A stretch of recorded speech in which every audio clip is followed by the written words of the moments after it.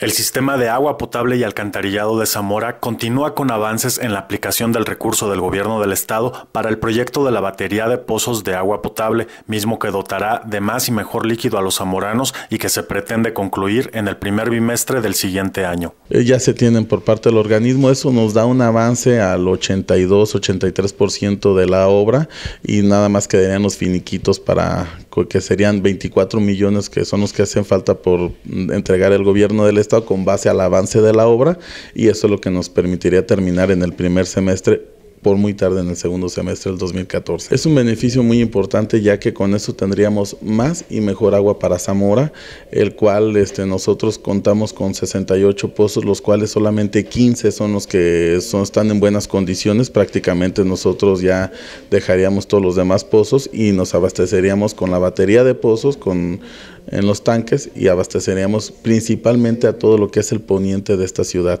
que es la que carece de calidad de agua y cantidad. Durante el proceso para implementar esta magna obra repercutirá en el servicio a los usuarios, por lo que el ZAPAS, además de atender en sus oficinas, cuenta con el número telefónico 073 para atender reportes, así como también página de internet. Estos tanques pues, son los tanques de abastecimiento más grandes de todo el estado. Es una manera donde vamos a tener un, cuidado, una cloración, un manejo de la calidad del agua para poder abastecer este, a la mayor parte de los zamoranos. ahorita prácticamente en el decreto tarifario este, viene un incremento del 5%, que es el que se viene arrastrando año con año,